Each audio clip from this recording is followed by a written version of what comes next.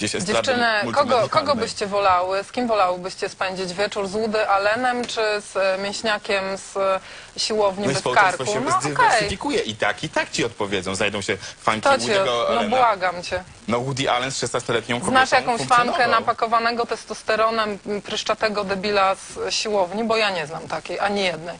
Parę się Chyba po to, żeby się przy drinku z niego ponabijać, jak siedzi przy sąsiednim stoliku i Ale liczy na tacy, szczęście. tacy mężczyźni też się rozmnażają, więc znajdują e, e, w jakiś sposób Tak, swoje pewnie fanki. walą głową w tą meczetą, którą zawsze ze sobą noszą i gwałcą, bo nie wierzę, że dobrowolnie, albo mają dużo kasy i nie wierzę, że dobrowolnie ktoś pójdzie z takim do łóżka. Więc błagam, panie Januszu, naprawdę. E, większość fajnych facetów, których znam, to nie są mięśniacy, to są intelektualiści. No i okej, I, i gdyby ci wyginęli, to ja też musiałabym się zastrzelić. Trochę luzu, Idą z tą naprawdę.